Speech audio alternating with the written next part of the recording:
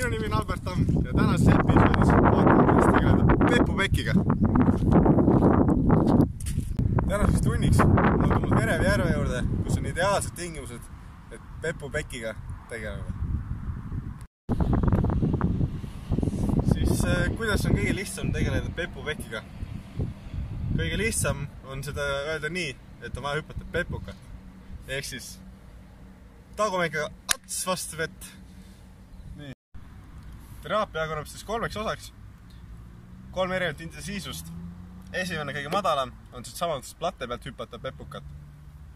järgmiseks liigume juba torni esimesele astmele, kus siis on juba mõõduka intensiivsusega pepupeki põletamine. ja viimane ja just see viimane aste seal, seal on kõige intensiivsem pepupeki põletamine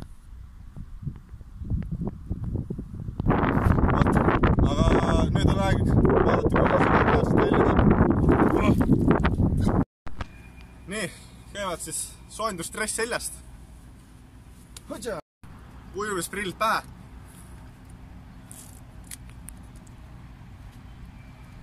ujumismüts pähe. hea küll, hüvasti pekk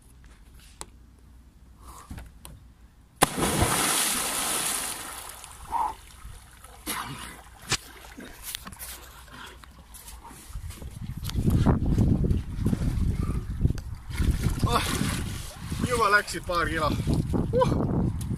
ah. nii, tere tulemast vlogisse number kuus, kus siis lõppude lõpuks võtame kätte ka Q&A küsimused, mis siin äh, paar kuud tagasi sai küsitud, aga lõpuks võtame ka need ette. miks siis äh, küsimustega nii kaua aega läks, on see, et äh, nii-öelda kuna ma käin koolis, siis on vaja trenni teha, võistlustel käia, siis lihtsalt ei ole aega olnud, et eh, sellega tegeleda. aga nädalavahetusel toimus siis Soome Pro Tour Tamperes, kus ma õnnestusin haigeks jääda. ehk siis eh, tuli võtta väike haigusleht ja ma arvan, et äh, selle haiguslehega teeme ka vlogi lõpuni. aga siis hakkame küsimustega pihta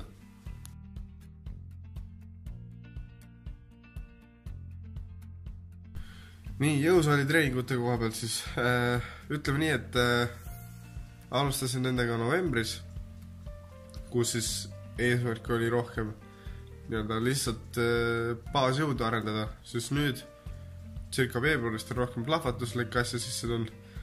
ja kui ma nüüd ütlen äh,, kuidas ma ise tunnen, siis äh, noh, ma tunnen, et ma viskan kaugemale. üldiselt tunnen, et olen paremas vormis ja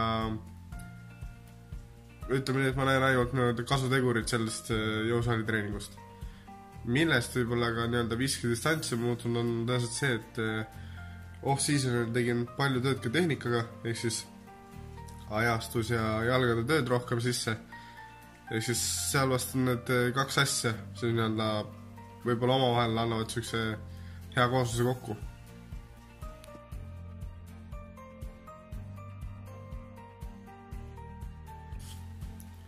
miks ma norskan või? kuule Raik, kui inimesed teaksid, mida sa öösel teed, siis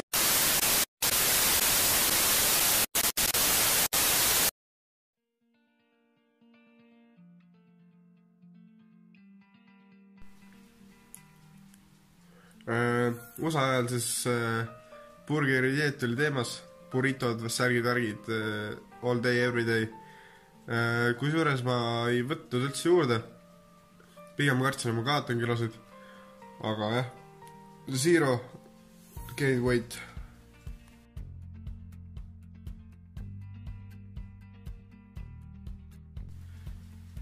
seal võib olla kaks aspekti mängus, miks sina viskad kaheksakümmend meetrit ja mina sada kakskümmend meetrit.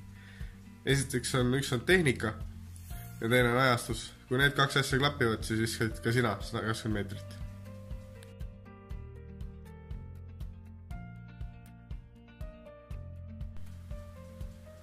oma ägeda vesti sain äh, äkki ISEC poest, mis on äh, väga teemas.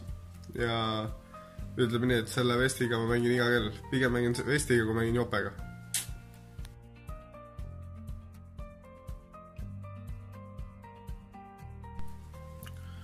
äh, tuuritamise koha pealt USA-s äh,, siis äh, plaan on nii-öelda USA-sse minna, ehk siis nii-öelda pikemaks ajaks äh,, isegi võib-olla terveks hooajaks, aga kõigepealt tuleb äh, Eestis mõned asjad kokku tõmmata ja siis saab nullist sajani tõmmata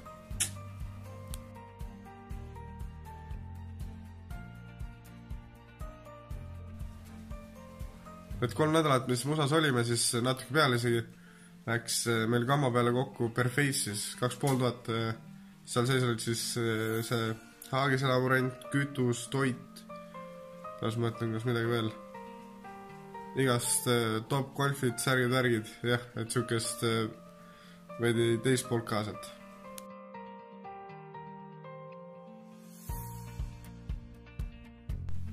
nii, kolm asja, mida tahaks enda juures level up ida. see on äh, väga deep küsimus, sellele vastamine võib võtta veidi aega.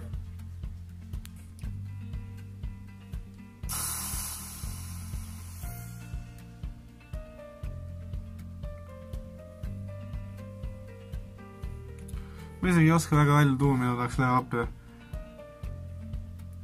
sest et äh,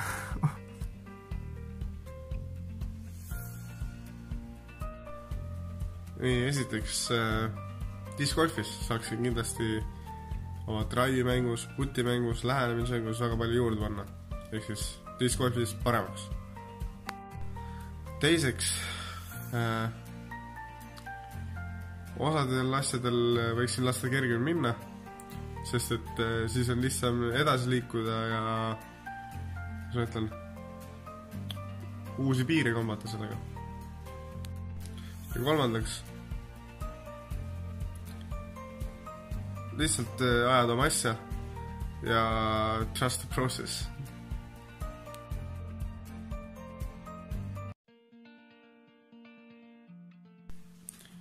Kas sulgpalli on ajalugu? ei ole, käin äh, seda küll harva, aga siiski vahest satun mängima. peamiselt küll talvel siis, kui ketas käes väga palju ei hoia või noh, siis on äh, häid, hea teha ka muid asju peale discgolfi.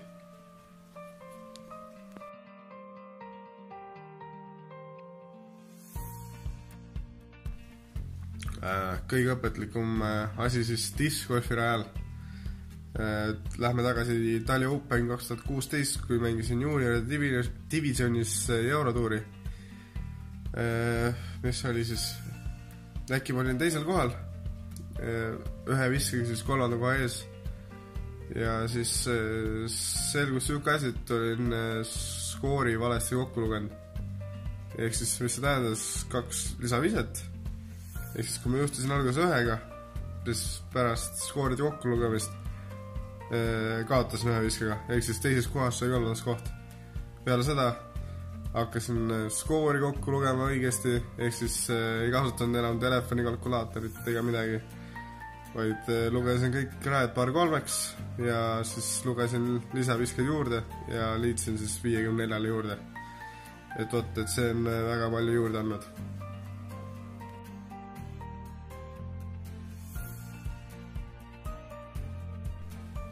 dopingut parana. putrusen.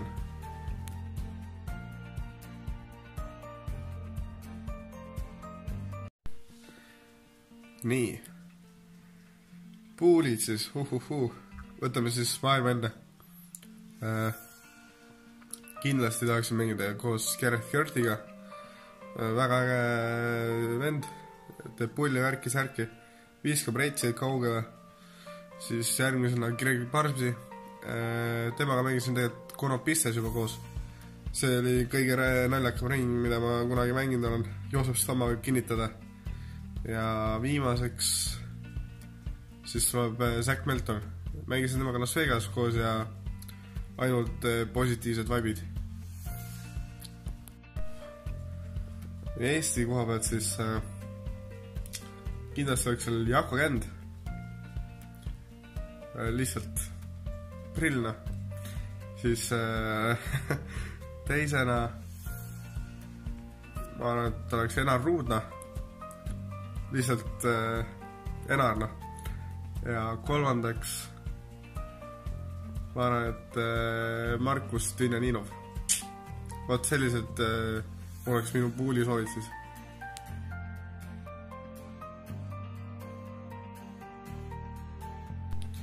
nii, lepingu koha pealt ma väga detailidesse ei lähe, aga miks äh, otsustasin Lätiteedi kasuks, oli see, et äh, see tundus sel hetkel lihtsalt õige otsus.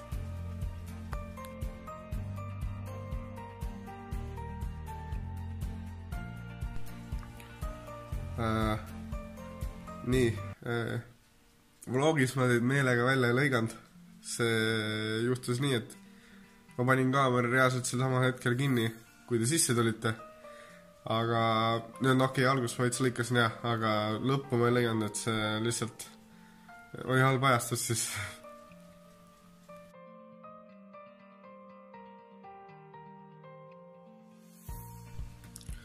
äh,. vunts tuli sellest, et äh, mõnel stiiliüritusel olin äh,, oli mu nii-öelda siis äh, kostüümi osaks vunts.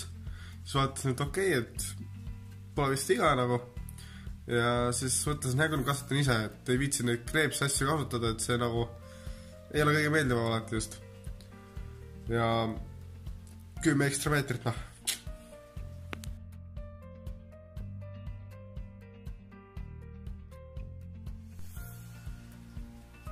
Äh, paari aasta jooksul tahaksin käia Norras äh, mängimas siis kas siis sulaooperit või BCS ooperit. et olen sellest väga palju head kuulnud ja nüüd viimasel aastal on tekkinud ka paar sõpra sealtkandist, et äh, oleks äge näha seda loodust ja kuidas seal siis mäng käib.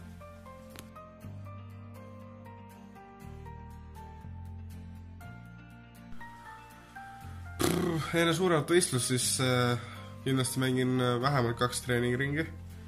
näha ära, mis siis mis seis on siis ajal, kus on mis ajad on siis siuksed minu tugevused, mis mis mitte, leida siis äh, kõige kõrgema protsendiga viskad enda jaoks, ehk siis ütleme, et kui mul on valida kas eeskäsi, tagantkäsi, et siis äh, kummaga on suurem tõenäosus, et ma õnnestun, siis tõenäoliselt sellega ma lähen mängima. ja mentaalselt äh, midagi lihtsalt ei ole, et valmistan nii palju ette, et panen mänguplaani paika, puhkan piisavalt, söön hommikul, võtan snäkkid rajale kaasa et nagu selle taha midagi jääks, siis, muu juba selgub raja peal.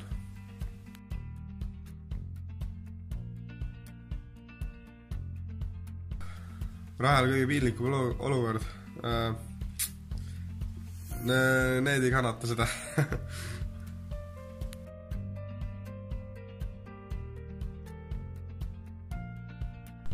äh, esimest korda äh, hoidsin kettad käes mammastes aga siis ma ei teadnud, et eh, tegemist on discgolfiga, lihtsalt loppisin eh, kettaid korvi.